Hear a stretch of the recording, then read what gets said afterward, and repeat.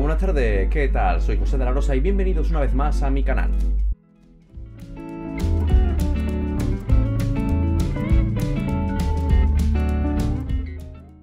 Hola, buenas tardes, ¿qué tal? ¿Cómo estáis? Bien. Bueno, eh, he tenido un pequeño cambio de look, me he recortado un poquito el pelo, también la barba me la he afeitado, he cambiado un poquito de presencia. Pero bueno, si no os gusta, ya sabéis que todo vuelve a crecer, así que no hay problema. Bien, en este vídeo mm, vamos a seguir un poco la dinámica que hemos estado siguiendo en los últimos, que ha sido de representar un poco los lados humanos de las distintas civilizaciones, pues ahora vamos a ir con los héroes. En este caso, los héroes de los griegos. Vamos a analizarlos, a ponerlos un poquito a prueba, para ver cómo se comportan en el campo de batalla, y terminaremos eligiendo qué héroes son mejores de eh, entre los héroes griegos, es decir, a qué dios mayor elegir o qué tecnología nos puede ayudar a beneficiar a esos héroes. Por norma general, sabemos que los héroes son buenos contra unidades míticas, pero malos contra soldados humanos. No es que sean malos per se, pero los soldados humanos pues no tienen ninguna desventaja contra ellos y los héroes no tienen ninguna ventaja contra los soldados humanos. Es decir, un buen grupo de soldados humanos pues terminan abrumando a los héroes. Además, creo que Freyr tenía alguna mejora por ahí que, mm, que, decía que los soldados humanos tenían un ataque extra contra los héroes, pero bueno, es una cosa muy eh, específica. Aquí os voy dejando los vídeos de los soldados humanos, en este caso los griegos, aunque también tenéis lo de los egipcios, nórdicos y atlantes a estas alturas en el canal. Y bueno, seguiremos subiendo vídeos a medida que avancemos sobre las distintas civilizaciones. Bien, empezamos con los héroes griegos. Los héroes griegos son cuatro específicamente. Cada dios mayor tiene sus cuatro héroes, uno en cada edad, uno en edad arcaica, otro en edad clásica, otro en heroica y otro en mítica. Son las civilizaciones que menos héroes tienen, pero son más personalizados, ¿no? Porque son héroes muy concretos de la mitología griega, grandes eh, héroes y semidioses, por ejemplo.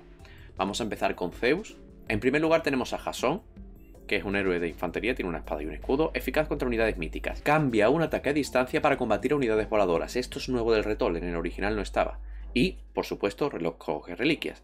Los héroes son buenos contra unidades míticas y también recogen reliquias. Los griegos antiguamente solo tenían un héroe que disparaba, ¿vale? Que normalmente estaba en la segunda edad, ahora pasa a la tercera, pero en este caso tienen eh, un ataque a distancia para luchar contra unidades míticas voladoras, porque si no mm, tendrían mucha desventaja respecto a las otras civilizaciones, ya que los egipcios tienen los sacerdotes que disparan de lejos, los nórdicos tienen los Godi que arrojan jabalinas, y los atlantes pues tienen arcus o turmas que pueden transformar en héroes fácilmente.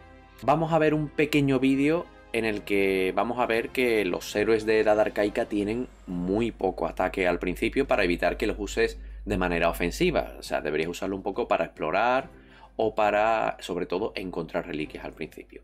Todos los héroes de edad arcaica, nórdicos, egipcios, atlantes y por supuesto los griegos, están como muy nerfeados, tienen muy poco daño para evitar que empiecen a atacar antes de llegar a clásica. O sea, los ataques en arcaica son mm, imposibles de llevar a cabo en este juego. En este caso hemos cogido a Jasón, el héroe inicial de Arcaica, de Zeus, aunque el dios sea Poseidón, pero bueno, eso no influye nada en estos compases de juego. Y lo hemos enfrentado a Minotauro. Vemos que el ataque de Jasón es ínfimo, es poquísimo.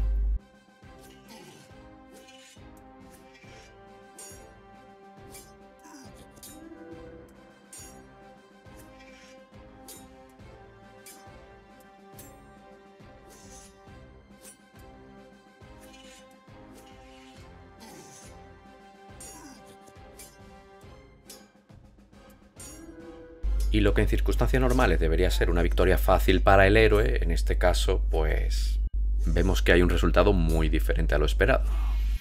¿Qué pasa? Que cuando llegan a la clásica, pues en vez de tener uno de ataque, pues ya tienen 9 o 10, o sea, ya son mucho más competentes.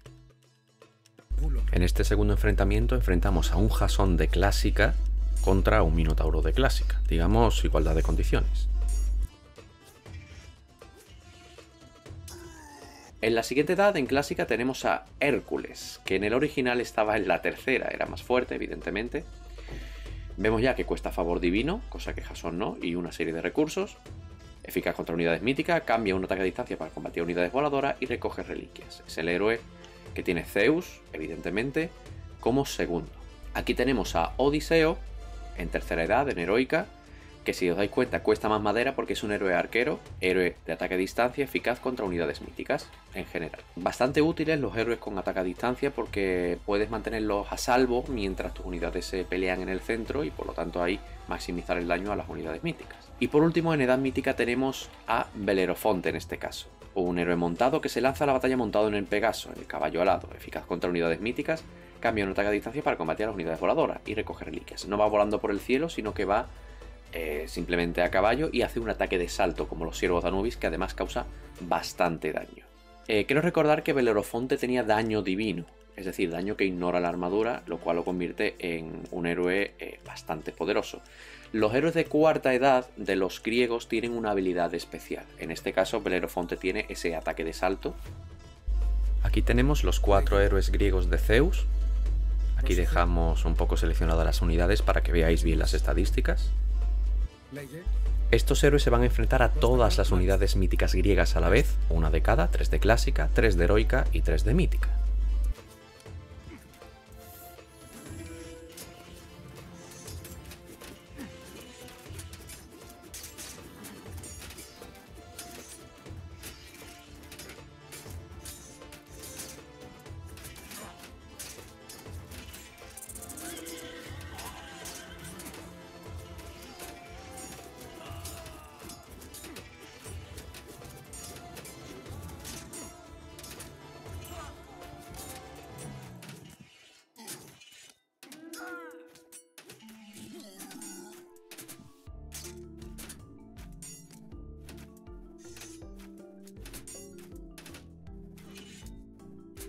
Proszę cię.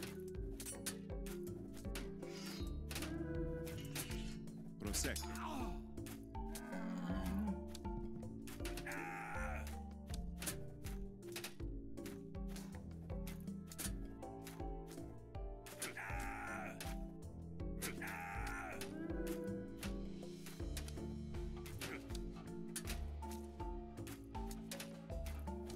Prostagma.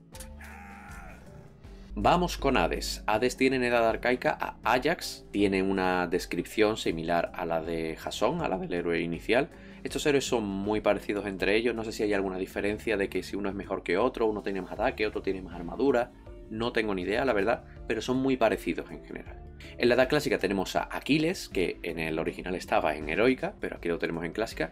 Héroe montado, es decir, que mm, se desplaza a mayor velocidad, tiene bastante movilidad, a diferencia de Hércules, por ejemplo. Y igualmente cambia a ataque a distancia para combatir a unidades voladoras. Todos los héroes griegos pueden atacar a unidades voladoras. En heroica tenemos a Quirón, que es el héroe arquero, en este caso centauro, con un ataque a distancia eficaz contra unidades míticas. Tiene mayor movilidad, por ejemplo, que Odiseo. Y por último tenemos a Perseo, que tal vez sea el más interesante de estos cuatro, porque es el que tiene una habilidad especial. Como hemos dicho, los héroes de míticas la tienen.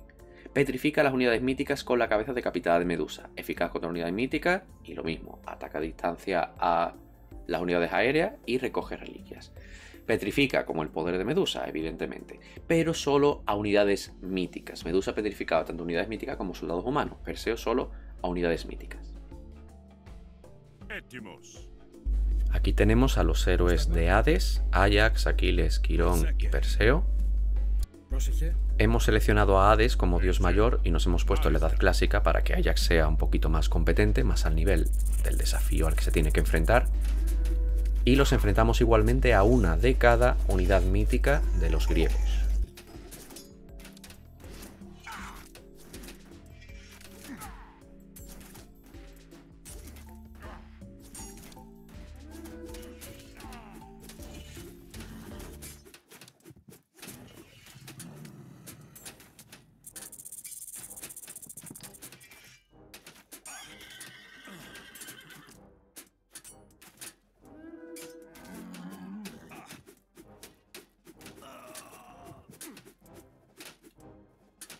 Y vemos que los héroes de Hades pues, se han impuesto con más solvencia.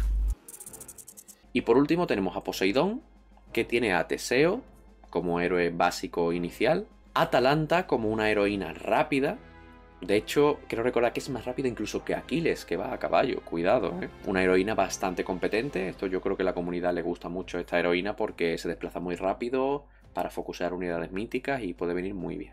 El héroe arquero, en este caso heroína, es Hipólita, la reina de las Amazonas, que tiene un ataque a distancia. Quiero recordar que dispara más despacio que Odiseo, tiene menos movilidad que mm, Quirón, pero sus ataques hacen más daño. De un solo disparo causa bastante más daño que el que puede causar Odiseo o Quirón. Y por último, Polifemo, este héroe de Mítica, que es un héroe cíclope con un poderoso ataque de área, eficaz contra unidades míticas. Em, tiene una maza que da un golpe en el suelo, una habilidad activa que puedes elegir activar o desactivar según tu conveniencia, si no la dejas que se haga sola y ya está, que hace un ataque de área y que manda a las unidades más pequeñas, no sé si a todas, pero a las más pequeñas al menos las mandan volar por los aires. La verdad que es muy espectacular de ver, ya lo veréis en alguna que otra demostración de estas. Y por último aquí tenemos a los héroes de Poseidón, a Teseo, Atalanta, Hipólita y Polifemo, y hemos elegido a Poseidón como dios mayor para que sea algo más creíble.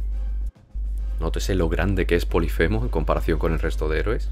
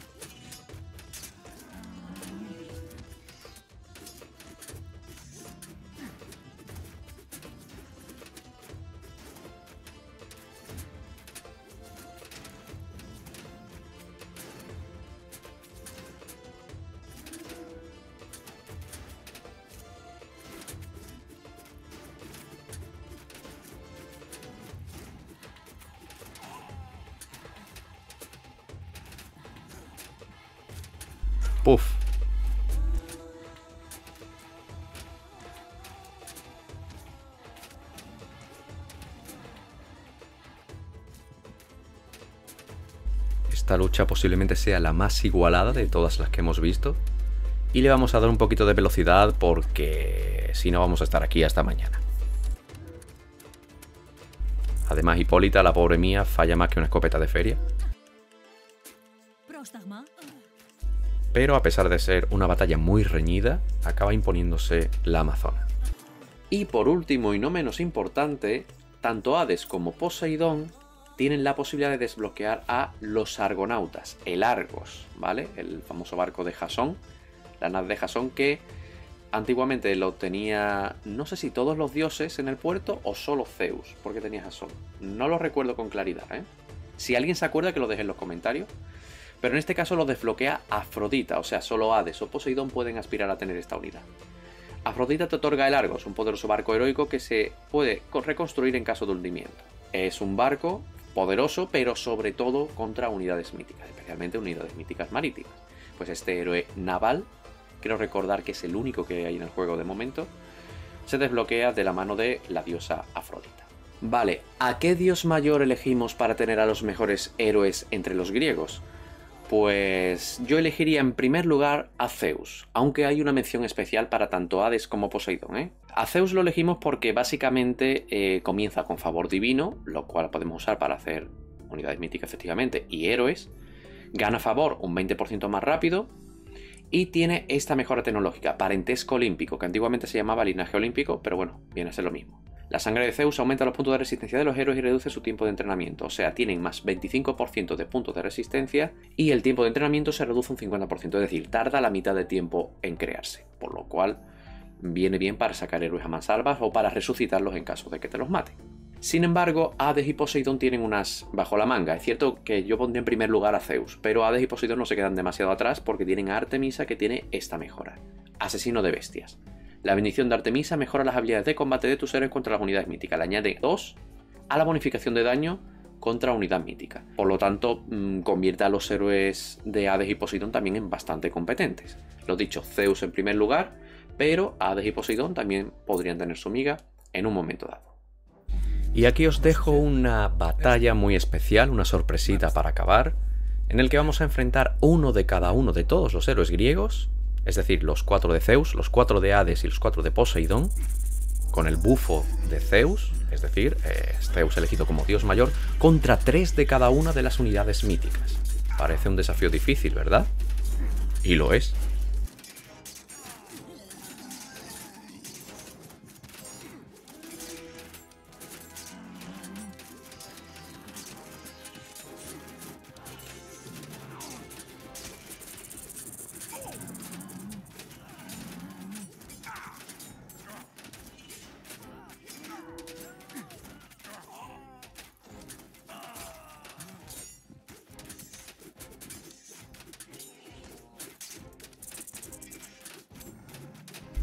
Vemos que Medusa se ha comprado un vuelo barato.